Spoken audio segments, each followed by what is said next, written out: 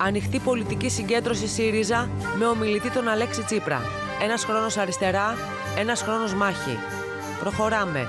Αλληλεγγύη, δημοκρατία, κοινωνική δικαιοσύνη.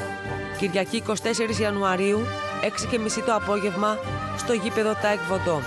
Ο αγώνας μας θα έχει συνέχεια. Θα έχει συνέχεια και θα φτάσουμε στη μεγάλη νίκη του λαού μας.